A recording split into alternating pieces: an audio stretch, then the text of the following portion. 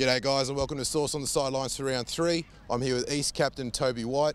Toby, 36-28 win over Norths, mate. How good was that today?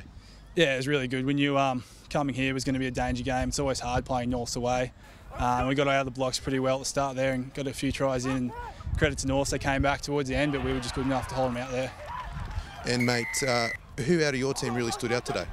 Yeah, loose forwards. Well, all the forwards really, but especially the loose forwards. Um, Tom Milosevic, Gunny, and, and Tyrone there are really good in, in attack and defence. They get us going forward and they make a lot of tackles. And mate, obviously you missed a lot of last season, injured.